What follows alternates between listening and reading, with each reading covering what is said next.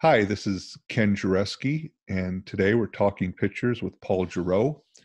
Paul is uh, he's run the gamut. He's worked for big newspapers, small newspapers. He's worked for magazines. He uh, has his own business. He shoots portraits. He shoots weddings. He's done everything in this business. Right now, he uh, he's shooting some video that I thought was really interesting.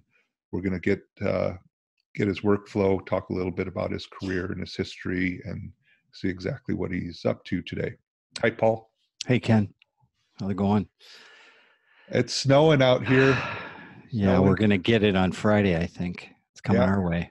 Sending it your way. It's nice and wet and heavy. We got about six inches of snow and uh, shut down our internet a little bit this morning.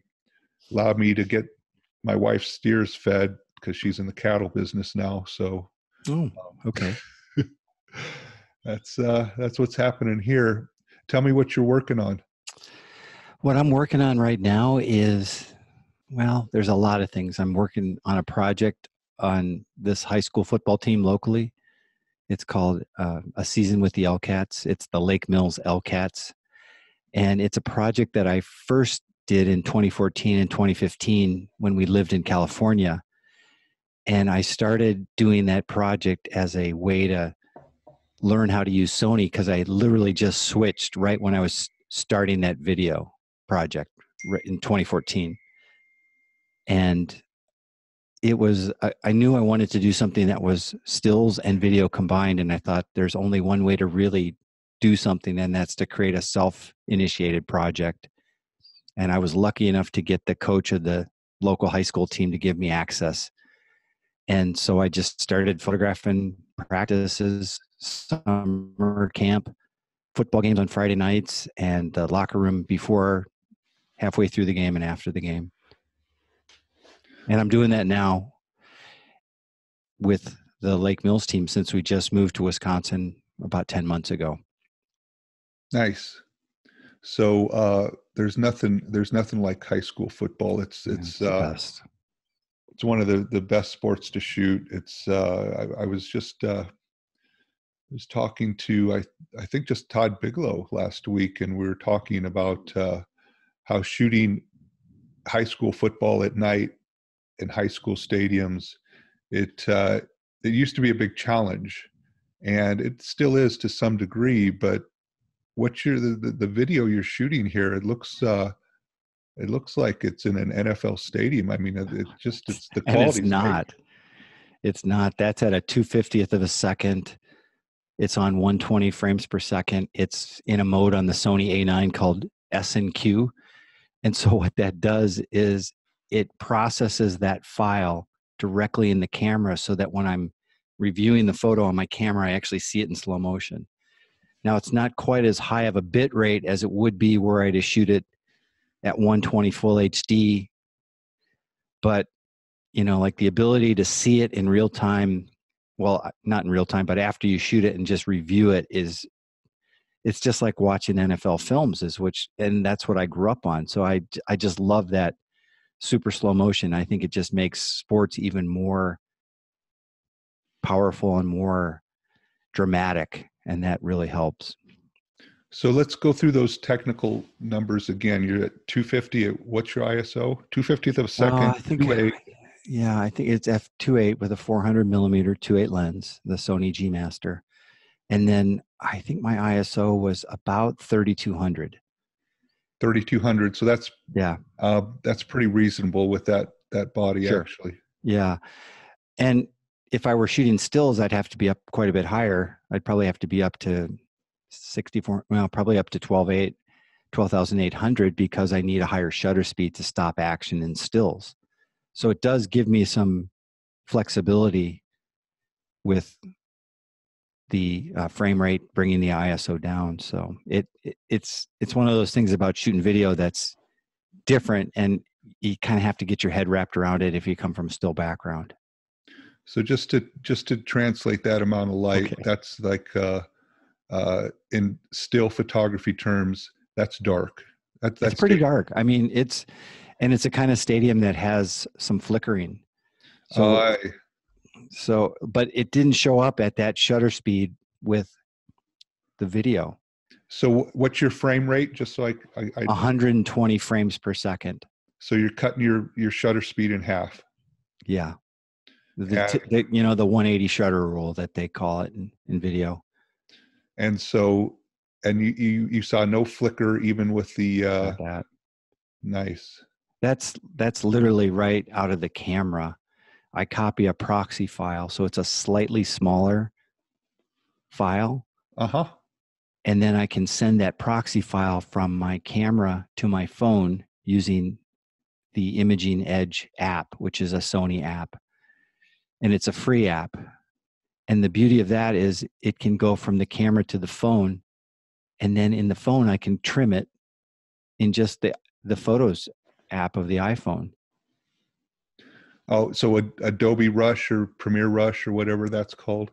Well, I used I used Rush after I made the initial cuts because I knew I just wanted like a what was that about a seven second clip or 50, maybe a little bit longer, but I put the titles in Rush, Adobe Okay. Rush. Right. So it's you know if you're That's on still the on your phone. You're still on your phone. yep, I'm still on my phone. So it's called couch editing. It's called sideline editing. Yeah, that too, but I didn't do it at the sideline, but I I could I could have. So what's your what's your total like so I think this I'm going to show this clip. I think it's 30 seconds or so. What's what's your post production time on this single Mm. 30 second clip just to get an idea? Oh gosh, I think it probably took me if you'd put everything together, it's going to take you about no more than five to ten minutes. I was going to say it's like under 10 minutes. yeah, that's, yeah, That's incredible in itself to, to have a 30 second uh, piece done in 10 minutes on your phone and you're sharing it with the world, basically. it's pretty cool. I Yeah. mean, I would have killed for this 30 years ago when we were trying to get photos out of Haiti. Oh yeah. Remember how that was? Oh, what a How did how what? So you were okay. So Oh, we went to Haiti a few times together, yeah, and um, what uh, you were shooting for the Chicago Tribune, yeah, I was. and you were shooting color negative film. And black and white. The first Wow. trip was a lot of black and white and some chrome, which was shipped back or carried back. Right.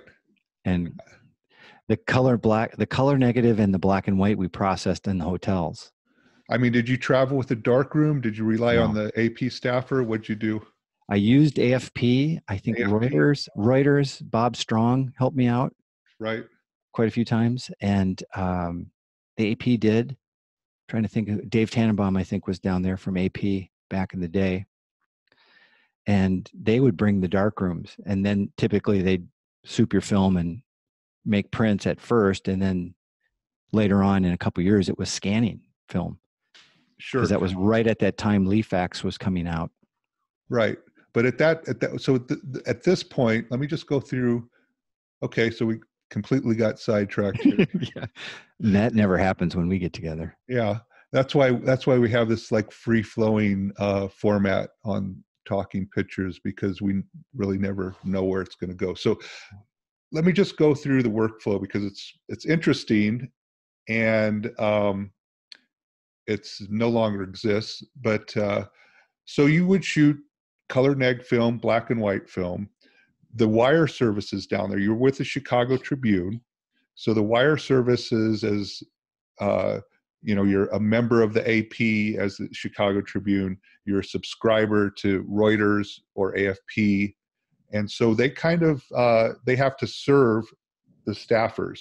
Uh, right so, so the AP photographer would travel with a dark room. The AFP, the Roy, they'd all travel with dark rooms, and they'd set up in their bathroom in their hotel room, and then the staff photographers for the various newspapers would process their film with them, and then they'd actually make prints at this point. And so, tell me about uh, how many color projects. uh, So, uh, uh, to to tell me how how you got a color print image to your newspaper in Chicago. the print would be made with a kodak ektaflex machine do you remember that So it's like a big eight by ten Polaroid, basically. Right. It's Never And quite was- worked right. it was it was very tinker toys and remember the enlarger was the fujimoto which Right. was which was portable and small and of course can you imagine traveling with that chemistry now there's no way No. no way and we would process the film god knows where it went after it was sent down the the toilet or the drain and we'd make these prints and then we'd slap a, a caption on it that was typewritten So you And- you'd, you'd make a physical color print. print Yeah. You had a big uh, a, a label, basically a big label that you would type on, peel the back off, and stick it onto the print. as well as color bars Color bars, right? and registration marks so that the, the engravers could actually put those separations together in the back in the back of the newspaper. So a black and white image took Piece eight minutes, eight to transmit. well you got to remember in international speed there was ap domestic ap foreign upi domestic upi foreign. That was always twice as long as a domestic signal because the phone lines were so awful that they had to go slower. So a color project took 30 minutes with a foreign transmission and a black and white took about 15 normally it would take about 8 on a domestic right. so eight minutes to send one black and white in America, 15 to send it from Haiti, and 30 minutes to send it from a color photo over the phone line into the US from Haiti. That was assuming that nobody picked up the phone and screwed up the transmission by putting out a line hit, which was basically meant you had to go start all over again. So just say that again. I think I I think your audio. Speaking of line Oh. hits, I think we just got one. Got one. Okay. So the eight minutes was to send a black and white photo from in the States, No, but- 15 minutes to send it from there. Right, but the the color project, you had to send that same color print three times, Correct. and so 30 minutes, 10 minutes each. Yeah. right, and then the engravers in the back of the newspaper would take those, and they'd be shot through a different filter by the scanner, and then they'd put them back together as a uh, separation in the back room of the newspaper, and that's how color images went from anywhere in the U.S., overseas, anywhere uh, at that time. The late the AP Laserphoto that it was, uh, and like like you said, it uh, you get one hit on one of those transmissions, you'd have to send that that color, you know, magenta, whatever, cyan again. So it was it was uh, frustrating to say the least. What I would give to have even one tenth of all those hours spent sitting listening to AP domestic or AP foreign or a Leafax later on, just Waiting watching grass grow, Yeah. watching paint dry. That's why I always envied the magazine guys because they they would just basically go and shoot and ship their film and they wouldn't have to deal with any of that post production. But newspapers, we had to. right. The, I feel bad for the wire guys. They had the worst because not only did they have to make an early deadline, then they had to take care of us. Yeah they had to get a picture out uh, they probably like the ap probably at that time had probably like 12 or 15 afternoon newspapers across the entire country but they had to serve them. So they'd have to go out make a picture get those in by 10 in the morning say haiti time. And um, then they then all the other newspaper photographers would come in looking looking to get their their film souped and and printed and whatnot Meanwhile, us magazine photographers, we'd get a box, and you know somebody would be uh elected to go to the airport and ship our film to New York, and and that's that was our workflow. Pretty simple in comparison.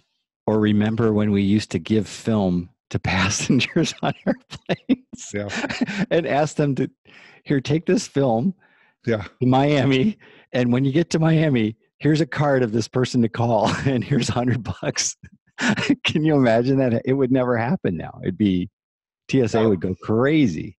No, you'd be, you'd be Yeah. you'd be thrown in the slammer for just even suggesting giving somebody a package today. It's changed so much. No, that was uh, so. So to put this all to to complete the circle, at this point, you can actually have a video out and sharing it with the world um, in under ten minutes. Yep. Whereas to get a color picture out in the past, it would uh, it was basically impossible to. A- and that was just going to your newspaper then to be printed on the press to be distributed on the steps by a carrier in the morning so it wouldn't even be seen until the next day yeah that kind of blows your mind. Are we are i mean are we better off today with the instantaneous type of thing? Well that's always a, the source of a debate but quite frankly i wish i would have had this technology back then. It would have just made my life so much easier. But now by virtue of the fact that i did go through that i can really appreciate what i've got right now. And so when i talk to somebody about being able to send a photo from literally at 2000 feet in a balloon and put it on instagram just because you can that's pretty cool because I know what it used to be like. We have a point of reference that other people don't have. Not to say it's better or worse, but I'm just like, wow, look at where we were and look at where we've come. And frankly, I just think that what we've got now has never been better in terms of the tools. I have no desire to go back to any of that old tech. oh no it's- It's so funny because film is so romantic by a lot of younger photographers, and that's okay because they didn't have to do what we had to do with it. For us, that was our Sony A9 Mark II was a roll of 400 Fuji and a lab. yeah i'll tell you I, I mean i have no desire to ever ever shoot a roll of film again i, I just zero zero desire I just love the ability to sit and see a photograph and know right away that I've got it. Like I know a lot of wedding photographers because I'm in that wedding space now. A lot of them like to shoot on medium format or even 35 millimeter film.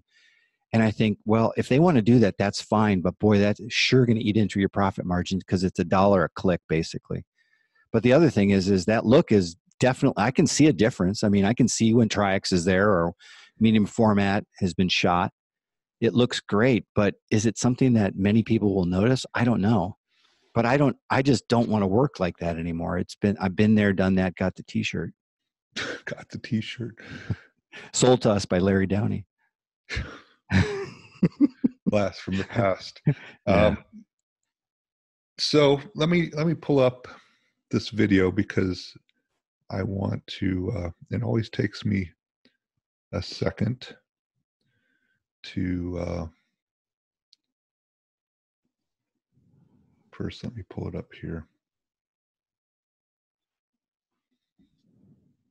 Sorry.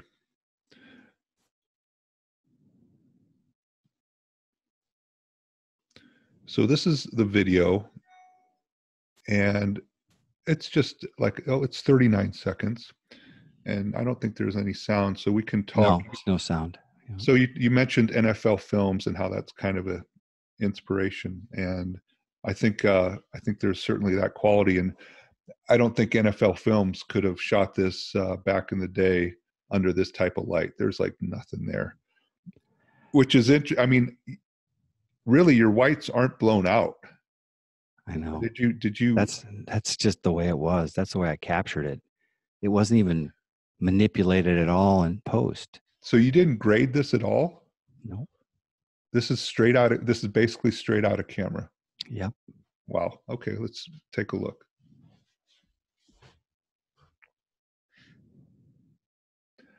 So you're shooting with the 400 2.8, right 50th of a second.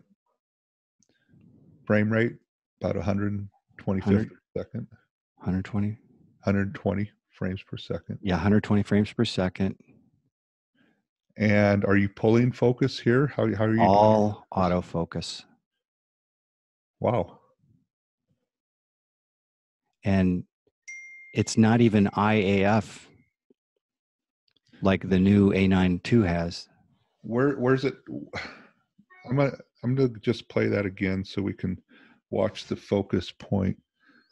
So there's there's a point where it pops out at the catch, but then it re, regroups it really quickly. So where I've got a focus point that's pretty much in the center, and I'm just moving it. You're moving it just with the camera or with the, the thumb? I'm just I'm just uh, if I have to, I move it with my thumb, but I didn't even move it. I didn't have time on this one. It's pretty right. much in the center. Wow, that's nice. And so this, I see that it didn't uh, didn't follow on number one. That see, that's the smart thing about Sony. I, yeah. So it's it's it, once it's locked on the guy that it thinks you, that, that the the other player coming in front of you, it's not gonna it's not gonna pick that up. Yeah, I I'd have to double check if that was if it's got the kind of the smart fancy autofocus with this system. Uh, the new A9 Mark II has even better autofocus with video, and it's faster. Like Pat Murphy-Racey, a friend of ours, he has tested the camera and he says that the focus is more precise. It grabs faster. It locks on. It doesn't move. And so he's noticed a real difference in just stills. And so I expect it to be the same with video, only, be, you know, like what we saw there with the A9 original and then going to the next one. That's, that's the thing about the Sony stuff. It always gets not just, it's not just like marginally better. It's always significantly better, whether it's color science or focus, uh, ease, better predictability. And for me, like it's a no brainer to upgrade to the A9 II because of the eye autofocus in video. Now, it wouldn't play much of a role in photography of football, probably for video, but it could. But it's just one of those things that's like I, I know a lot of videographers say, well, I have to have a 4K 60p 10 bit frame, uh, 10 bit file codec and I understand why they want it for grading, and then they can use the cameras for Netflix and stuff like that. And the thing is, is I'm not doing that. I'm not doing a Netflix show. I'm doing things that are going to be shown at full I would much rather have the autofocus capabilities that this affords me than contrast-based autofocus, like you'll find in those cameras that do have those frame rates, or I should say, the codec that they're looking for. How how old's the A the, the original A9 now? The A9 came out in 2016, so it's probably been since 2015 or so what th- that they've been designing it maybe even 2014 who knows maybe even earlier the things that used to take 10 years then took 5 years and now they they take 18 months yeah so, to, so the A7R3 came out not even 2 years ago well about 2 years ago now so they released the A7R4, I think, at about 20 months or 21 months since the A7R3 came out. And a lot of people say, oh gosh, they keep coming out with new cameras so fast, I can't keep up. And I say, yeah, I understand. I would much rather be spoiled for choice than to not have that option or to have just marginally incremental upgrades from camera to camera. The thing that I've really noticed it in is uh, the lens design and production i mean that's really uh to me it's it's it's they've just uh I, I, guess they're doing computer modeling on these lens designs and they can they don't have to build 20 different models before they can actually have a finished uh model yeah. ready to produce so it's incredible yeah the the whole production cycle has shortened considerably but it, it, it's all it's all great to talk the specs and all that but to me it's never been about that. It's always been what can this camera let me do that i couldn't do before? And how can i up my game? Like when we switched to eos back in 1987 we switched because we saw the advantages to autofocus even though we were both pretty good at manual focus look i'm not too proud to beg i will take autofocus if it's better than me not I'll, everybody I'll can be andy hayt no, exactly. Andy Andy was one one in a one of a kind. Uh, uh, still is. Um, the uh, this idea that technology is there for for you to take advantage of and not to uh, not to be the other way around um, do you think you think we get caught up as as you know the geek Sure. side of the photographer Sure. world? I mean oh yeah. I mean that's the thing that i don't know. I just I, i've always been intri- intrigued by this kind of merging of science and technology and art. Pho- photography has it like nobody else and there's an immediacy to it. I mean i grew up wanting to be a draw uh, cartoonist an artist and that was great but photography was what grabbed me. And it was because of seeing the technology. Like when you look at a tray of developing i know everybody talks about that first moment when you see a print pop up and it's true for me probably for you too. It's true for me. It was magic and it was like whoa i have to do this. And there was no doubt about it that it was magic and it's what i wanted to do. And it's still it's still that way. I mean i love looking at prints when they arrive and i still love to hold one and when you print on an epson printer or a canon printer and pull that print out or watch it come out it's still somewhat like that sensation of when you looked at a print in a tray in the darkroom Well, what do you? I mean, it's interesting that photographers, they're, um, if you're working as a photojournalist, you've got your feet in two different worlds. You're, you got the the reporter side and the photographer side. But as a photographer in general, you're you're still in two different worlds. You're you on one side you're you're an artist, you're creative. On the other side, you are this geek that just kind of loves technology and loves talking about the numbers to a certain degree. Do you? I mean, it's a kind of a common thing. I don't see that in Eddie. I, I, I mean, a jazz musician won't be talking about the next saxophone coming out. I don't think. Maybe they do. I don't know. See, that's the thing is we're pretty we're pretty deep in the weeds of our business and we've been in it for a long time. And who's to say that maybe cinematographers don't talk the same nuts and bolts that we do or maybe maybe painters talk about types of paint that are very different we wouldn't know from Adam, but you know there might be that world that they live in. I don't know. I just know that this is the world that I inhabit and it's kind of feels like a perfect fit for me. It's always evolving, it's always changing and it's but in the end it's still about making a photograph that you really really want to look at as you said one time. Yeah, that's. I mean, that's that's what gets you. uh Might not get you out of bed in the morning, but it'll get you back behind that camera in the afternoon. I mean, You, know, it's funny because whenever I was in newspapers, and you know, of course, when you're in any kind of a corporate environment, you deal with the politics of any place. And the best part about it was getting an assignment that pulled me out of the office to go meet people. And once you were in that environment with those people, you just focused on what you had to do and being with these folks and making a great photograph. And it took you away from all of the drama and all of the BS that you used to have.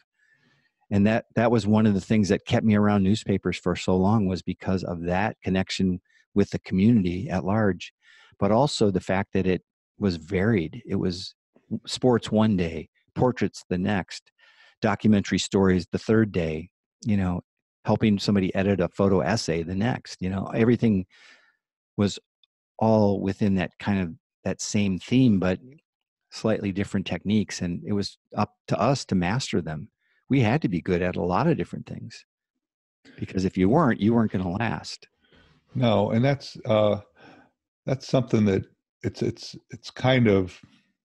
I don't know if it's completely lost these days, but this idea that um, as a newspaper photographer, you covered a com- community so so closely that you and you were a part of that community. It was it was it was it was kind of the best job in the world. You know, you knew you knew you knew the crooks, you knew the cops, you knew the politicians, you knew uh, how to uh, how to get anybody on the phone and who you should talk to to to get access somewhere. It was it was your own personal playground having that at a newspaper, and you did have to have all those skills to to be able to to to meet the newspaper's needs. You know, Well, the other skills too were the people skills that you developed. skills. You had to develop them because if you didn't have that, people won't let you into their world. And that's that's one of the neatest things about it that people would actually open up their homes to you and they'd let you re- see a, a, you know the side of their lives at the end of my career in newspapers i just got tired of being there on bad days for people and i just wanted to be around for good days and maybe that's wrong but i just knew that i'd kind of it was time to move on Yeah, so that's that's another great point you bring up. This uh, the people skills and the successful newspaper photographers, the ones that uh, that just create lasting uh, this lasting body of work. Um, they all have great people skills, and you have that. I don't. I'm not. I'm not great at that. I don't really like people that much. I just you know they uh they drive me crazy but but you you have this this ability to um find something in everybody you, you're kind of like a optimist i think. Some days you know some days i i'd like to think i'm pretty optimistic but you never know. Some days you have days when you're kind of down but i just feel like if i can focus on them i don't worry about me as much. Yeah that's the that's that's the, that's the key you know um and i i use the the avedon example all the time. It's avedon everybody was shooting every portrait he ever made was just a self portrait and was always about him. And that you know he made great images but it was always about him uh shooting a self portrait something about himself. The newspaper photographer if you think about it um you, you know you, you talk about seeing people on their good days seeing people on their bad days. Um say like when i was working i i do jobs for people magazine and i'd i'd always have to remind myself that yeah i'll get another byline and i'll have a byline next week and i'll get a byline the month after that whatever. But this might be the only time these people ever end up in people magazine or their local newspaper. And they're going to cut that out. It's going to end up on the refrigerator. Then it's going to end up in a scrapbook someplace and they'll pull it out when people come over to their house to visit. It's an important thing.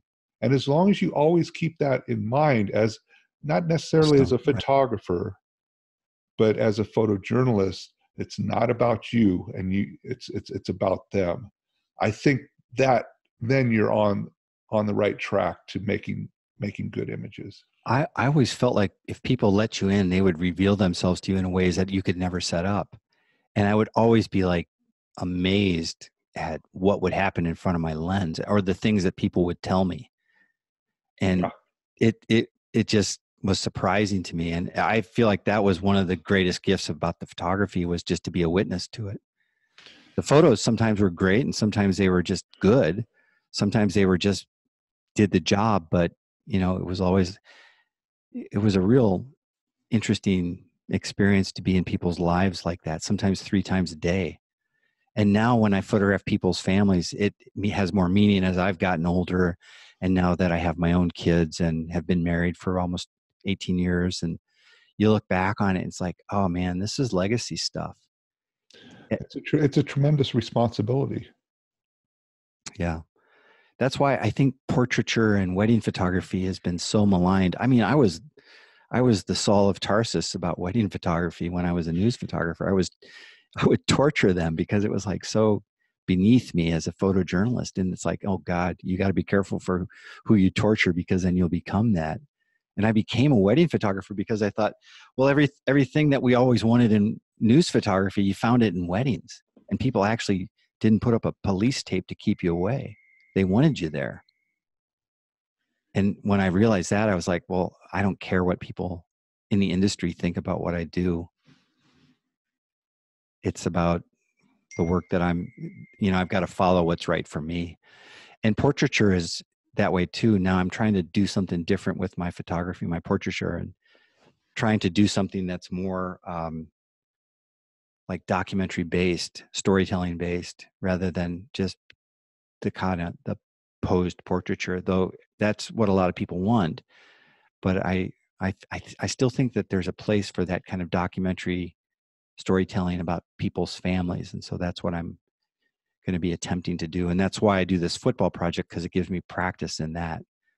It gives me practice in knowing people and being around them, shooting stills and videos together because I think that's going to be my future even more than stills only. And not just video either. I, I think there's power in both. And I, I feel like this is the perfect system to allow me to do both of those things. Do you do you get exhausted just by shooting pictures? Not when I'm not talking like running up and side down the sidelines of a football game, but just when you're shooting portraits and because of this you're trying to you're trying to get beyond just the visual and really you only have the visual to work with as a photographer but you're trying to get beyond that i find it exhausting and it's mentally exhausting and i, I think it has to do with um, that that uh, i don't know there's a there's a there's a burden there a little bit. Yeah yeah although it's funny because i feel less tired now as the tools have evolved and are less you know like i see it in real time what i'm getting. Like i know i have less re- remember those days when we shot film and like oh god i hope i got it because you didn't know until it was processed. At least now you can know if you've got something or if you need to go back and try it again or you know like i, I feel like sometimes just the, the, and the sheer technical like making sure your focus point was on the eye and is your aperture going to be deep enough to keep that eye in focus i find that's those are those kind of concerns have kind of which kind of wore on me when i was shooting like at a wedding for example now i don't even think about it. I i actually love that fact that i'm going to be there for 8 to 12 hours and it's just going to unfold right in front of my eyes. I don't know exactly how it's going to be but i know that whatever i see i'll be able to photograph it and record it and not worry about it knowing that i can shoot at f1.4 and nail it on the eye. I mean that is such a humongous strain off of my psyche you know like people don't i don't think people realize what it what you worry about when you think you have something and you come back and you see the film process and you just were off of focus. I remember one one time i came back from a notre dame michigan state game. And there was a big play in the fourth quarter and it was an interception and i thought for sure oh i got it. And i came in confident and cocky as a 23 year old kid and said yeah i got Ouch. it oh boy. I didn't. I had it. I framed it but i wasn't sharp Right. And that was a hell of a lesson in swallowing your pride. Yeah, yeah. You don't you don't want to you don't want to brag until you actually put a loop on something. The old, you still want to hold it down a little bit. The old guys used to say, "Let your pictures lead you into the room." You know that you know, let them tell your story. Let them talk for you. Right, right. And that's one. Th- I mean, that's probably just the generation that we're from and it's hard because when you're a self when you're a small businessman as a photographer you have to kind of do a little bit of self promotion right. even if it's very subtle but you still have to do it. And as a news photographer that was the thing that you did not do. You let your photos talk. But part of it was because the people in the room who looked at the photos knew how to tell them. They could tell this they they could tell if they were there if you know you're blowing smoke you know? You said something interesting um, about how you can you can never predict or imagine the things that'll happen in front of your camera. And i tell that to people and i say you know when you think about when you get a preconceived idea or you or you think oh i'll just i'll just have this person do this and this person do that and you set up an image especially as a as a photojournalist not only is that taboo, but what it really does, it limits what's going to happen, and your imagination is never going to be more uh, creative than what really happens. And if you well, just it, it's it's so true. At least that's what was true for me. But I know people in the wedding industry come from a different mindset. They're not being fired if they make the same make a photo up or create one. And you know, like I'm not saying that that's bad or wrong whatever works for people. But uh, like I've shown photos, to, I remember showing my an album, a wedding album from a wedding on on at Po Monkey's Juke Joint down in Merigold, Mississippi. And I mean, it, that's the place where Annie Leibovitz went, Allard went when they Sure. did their blues stories. Sure. I'm like, I'm shooting a wedding there. And I was like pinching myself because it felt like I was doing a geographic story, even though it was a wedding. And I showed an album to a photographer who was probably more from the conventional photo background in the wedding space. And he looked at that album and he said, Oh my gosh, those photos are so real. And I've had another photographer friend of mine uh, who comes from a background show his photos to somebody from a wedding that was all documentary wedding photography. And the guy says, I don't see that. And I can't be sure that I would capture that. And I think we take it for granted because we had to learn that if we didn't innately have it. We had to see it.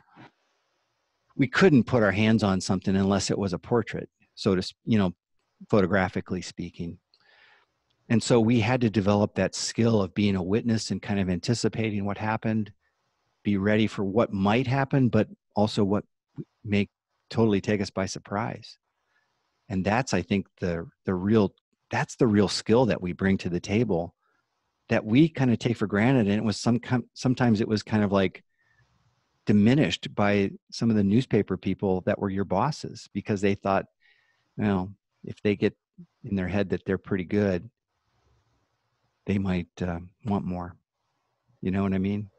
No, and, and and there's also that there's that uh, you know in the journalism business there's a certain amount of cynicism, and like you said, even even uh, at one point you you look down on wedding photographers, but the flip side of that is if you are shooting for the geographic and you are in the in the the rural Mississippi, you're gonna be you're gonna be you're going to be finding a wedding to shoot as a National Geographic. If you're doing a portrait of that that community, you want to be at that wedding.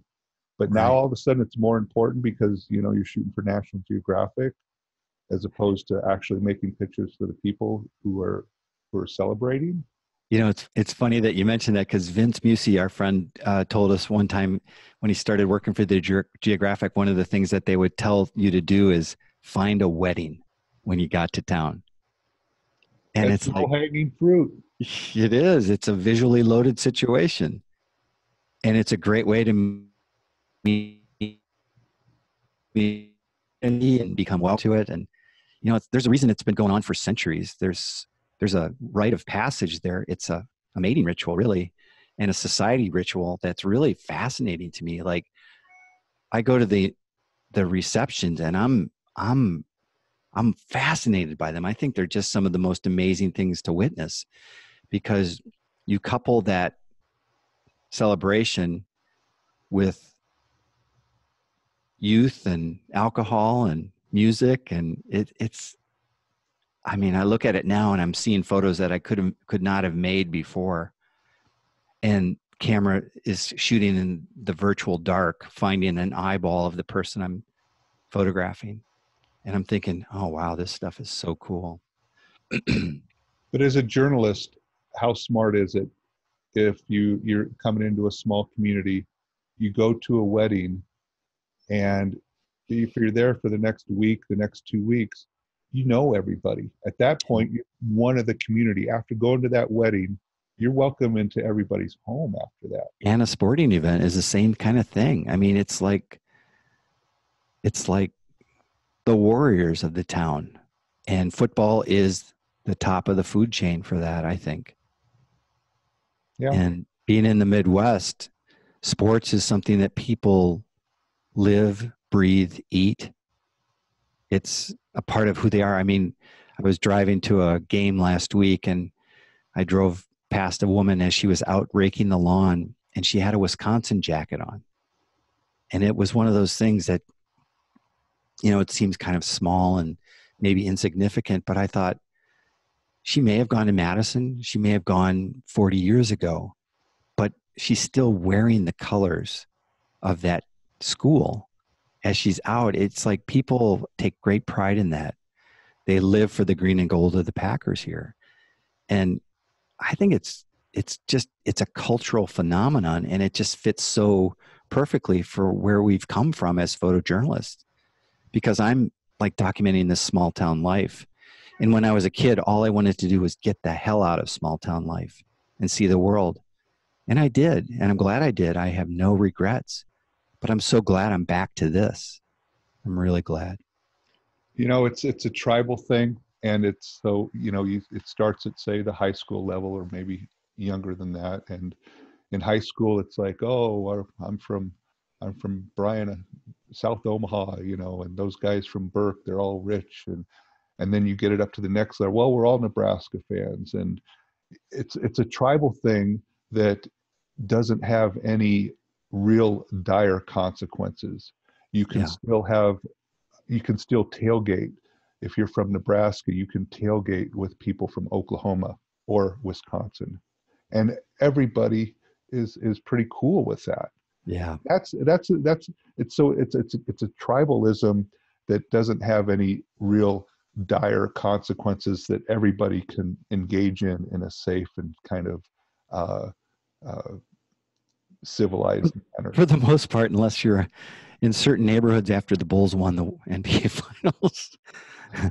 well, yeah, I mean, you don't you don't want to you know you don't want to be walking around Green Bay with your uh, Bears jersey, Bears jersey, Ditka mustache after after a long. Well, you could, but yeah, it might not go so well. But no, they're they're pretty cool anyway, though. I it's it's it's been a it's been refreshing to come back to the Midwest. There's something different about it over the coast, and I've lived on both coasts, and in a big city in the Midwest when I started in Chicago, and every step of the way was really an important part of the process. And I never thought I would come back, but I got to say that all of that stuff that I did in each of those places was really important to learn, whether it was learning how to deal with po- political people for those five years in DC, learning how to um, do all the technical stuff with transmitting and you know digital cameras when I was in Arizona and dealing with a smaller market but still a fairly big market and then in California was learning how to be a self-employed photographer while still being true to those things that we kind of hold dear. And then coming back here for many reasons, primarily family and just kind of a, a, desire to come back to something a little simpler. And yet, still having all that experience behind me, it just gives me a lot of confidence. But also, you know, I, I, I I'm living in the world a lot differently than I did when I was 25, as I'm sure you are too. I mean, for one, you think you'll live forever, and and two, you think you know it all, and I sure did. And I just I'm I'm glad I'm still here doing this for a living, but I'm glad I've had all those experiences along the way.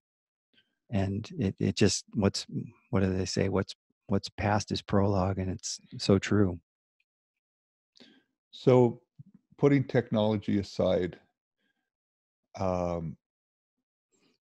if you, how much better are you? Do you consider yourself a better photographer today, and, and how much better are you than that that 24 year old kid running around Washington D.C. for the Chicago Tribune? Well, I I think I'm better because now I'm. I, I remember there was a line Sam, not a line, a, a quote that Sam Abell said, and I you might remember it too he said, I know when I'm in the presence of a photograph. And I didn't quite get that, but now I do. It's like I walk into any room and I can tell where my photo is going to be and where the light is and what lens I need. And it's just so second nature. And that is such a gift. And that's a gift from newspapers because of doing it so many times. Because that younger photographer had a lot more stamina to work three to four assignments a day for 12 to 18 hours, whatever it took. But now I'm benefiting from all of that experience in terms of like knowing how to cut to the head of the line to be to know where to be to make a photo that I know is going to deliver the goods, but then also be open to anything else that happens along the way and be ready for it. Just because you've seen things so many times. I mean, Groundhog Day is a really wonderful movie because it kind of reminds me of being a wedding photographer. You know, the arc of the day was very similar, but what happened for him was he began to appreciate the people along the way.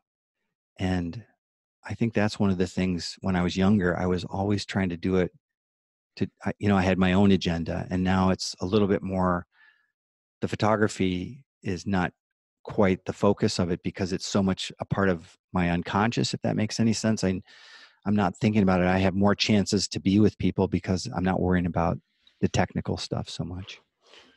How what would you tell your 24 year old self? Hmm.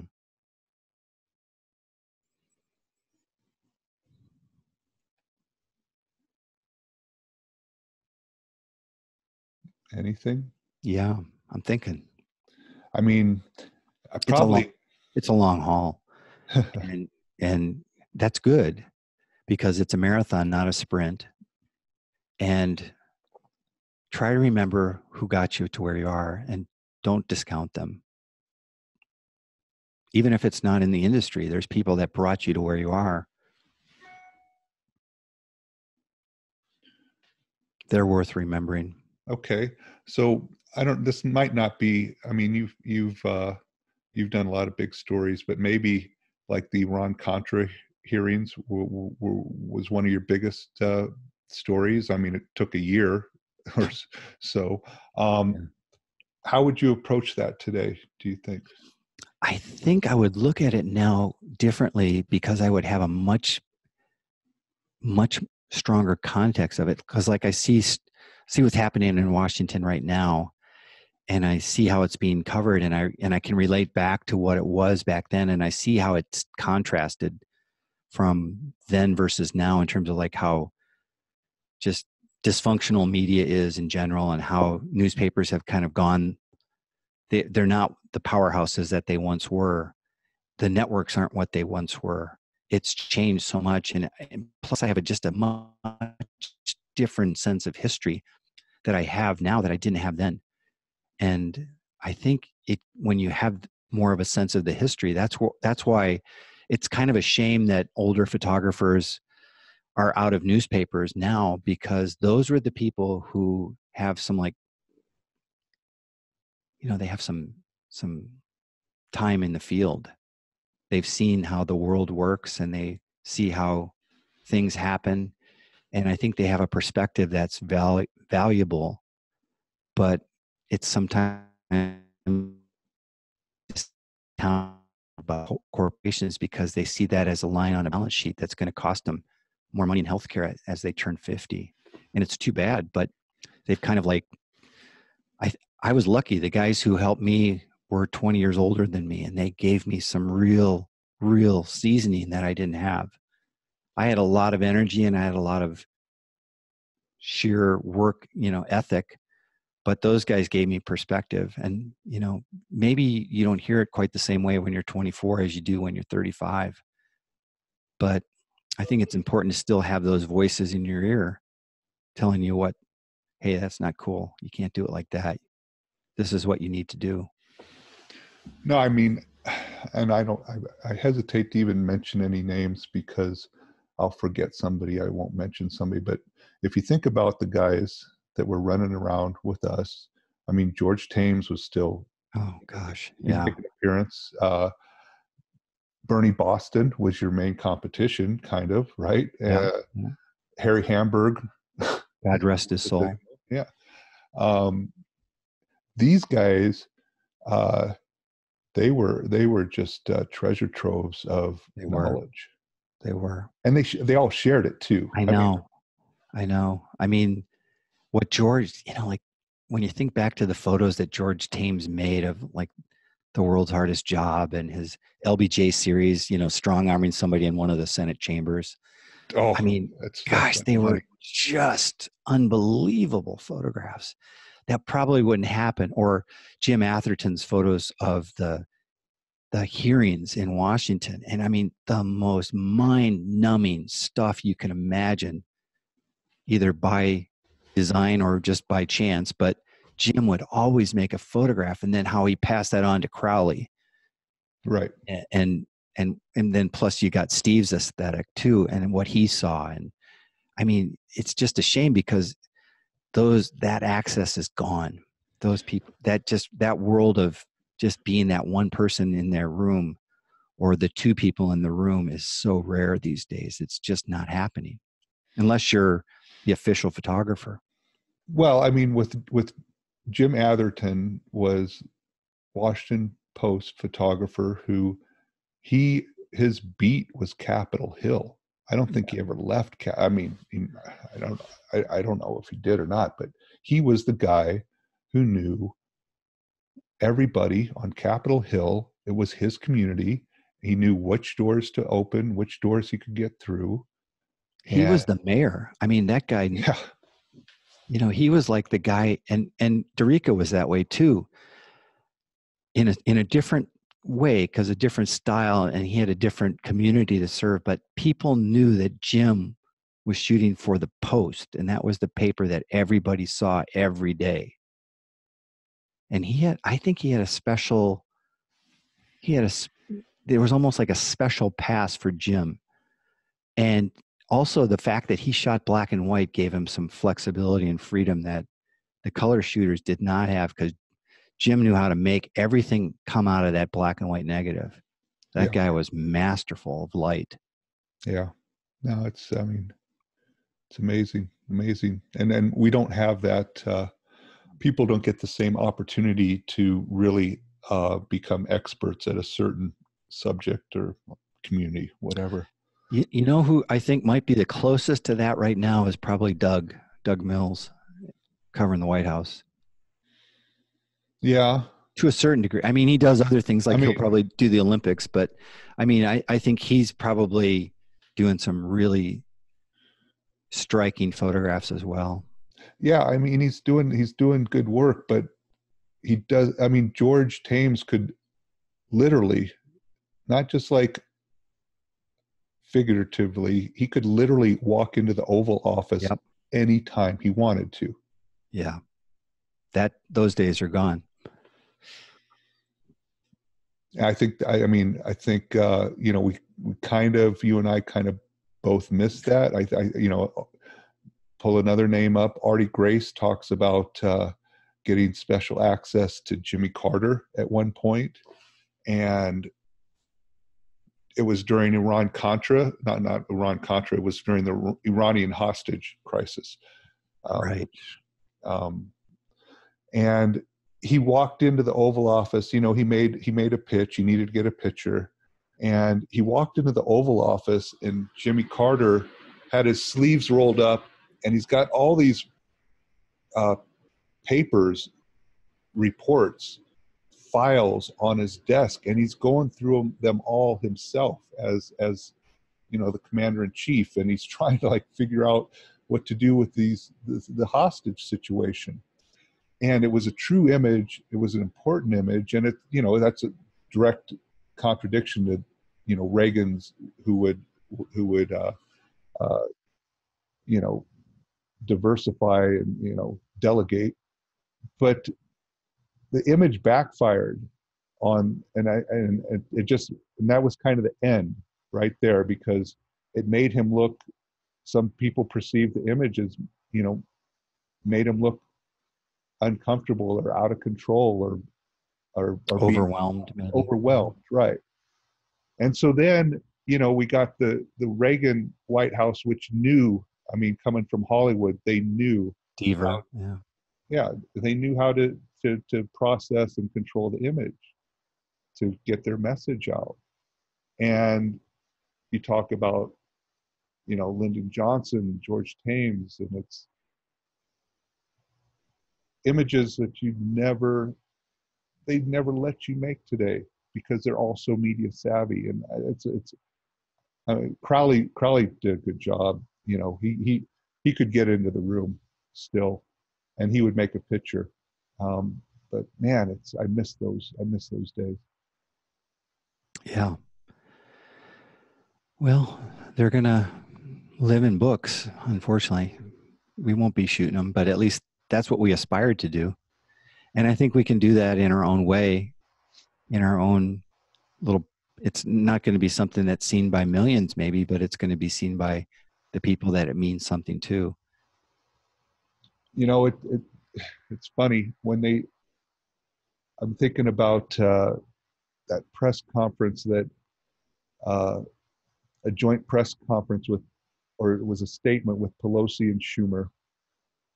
And um, was it Schumer? Um, yeah.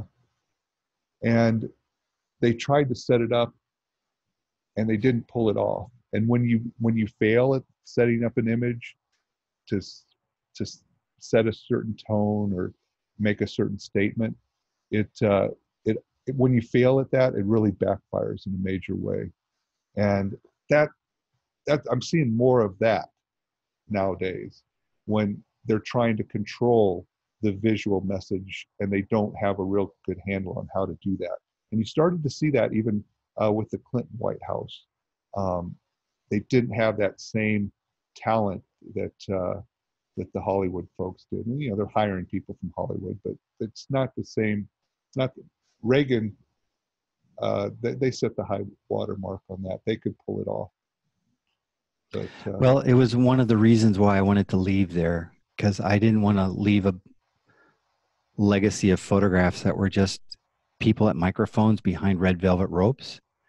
And I also felt like I was basically being used for whomever to promote whatever they wanted their agenda to be. And I actually felt like if I went back to a newspaper and I went to Arizona after that, which was so random, but it was so good, um, at least I was going to be the only person there or a very small crew or, you know what I mean, small presence and i just wanted that because i just felt like it was i was just being part of a big engine of pr when i was in dc now washington i, I don't know how they do it. I really don't. I i i, couldn't i couldn't i mean i just I, I, I felt used all the time. La reminded me of the same vibe because it's a one horse town and it's all about image and it's about how you look and how you come across to others. And even though I spent the most amount of time in one place in California, it reminded me a lot of being the five years I spent in DC, which when I got to the end of that five year time, I knew it was time to leave. And I just knew I didn't want to settle down and raise a family there. And, and I thought that I could make everything happen in California that would work, but I, but I never felt at home there either and felt like I needed to come back to the Midwest to, to feel whole again yeah, Washington and LA are both one industry towns, and that industry is the dog, and everybody else is the is the is a is a flea on the tail. yeah. Um, so you're back in Wisconsin now. You're back. You're back home. Yeah. That must feel pretty awesome. It does. I mean, I love driving on a road and not have a car on my tail. I, I, Tesla, I, a Tesla on your tail, and the yeah, like the driver. No, the the worst part about it wasn't just the Tesla on your tail; it was the motorcycles coming up oh. on your blind side on the right, splitting the lane, and it was yeah. like, I I can't believe I didn't hit one of them in 18 years, 17 years there. No, I just felt like it, it was it. I tip my hat publicly to my friend Mark Boster. Mark Mark worked for the LA Times for so long 34 years and bless him. He rode from ladera ranch where we we both lived up to la for like 11 years. Five days a week.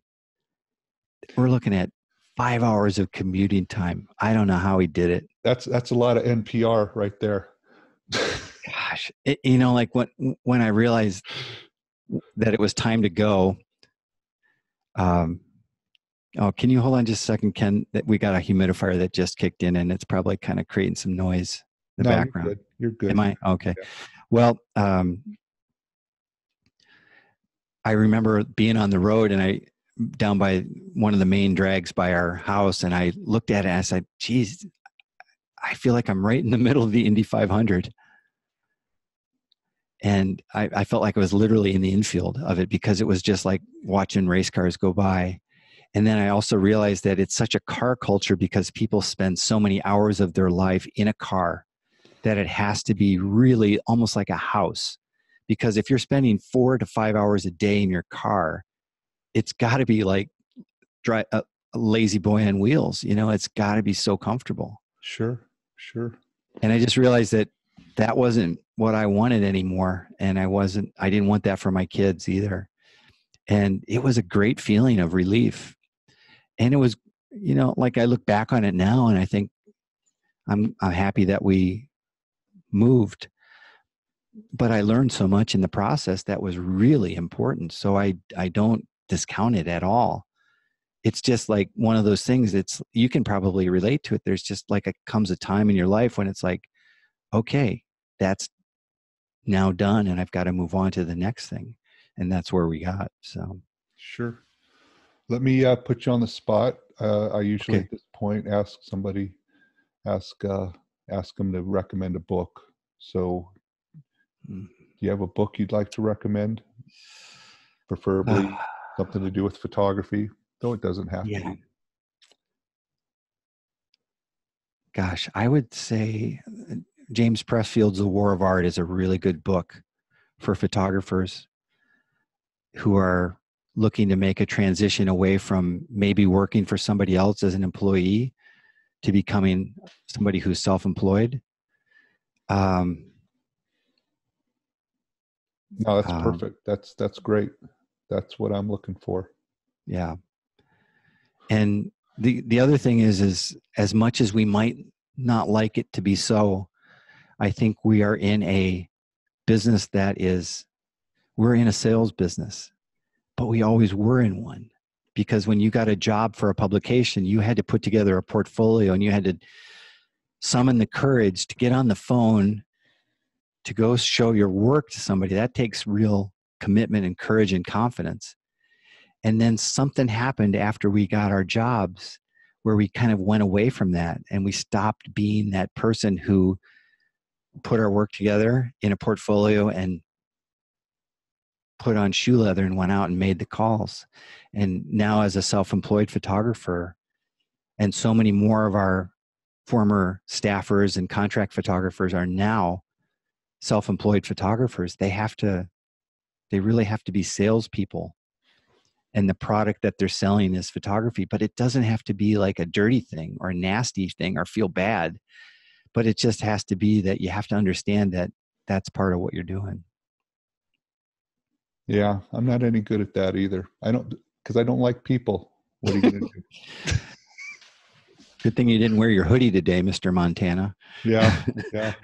I, I was wearing my hat out there keep the snow off my head. Yeah right. So thanks paul. We'll uh, You're welcome. I sure enjoy talking with you and yeah me too. just keep doing that that great work and hi to your lovely family. Yeah, you too. See you, Ken. Ciao.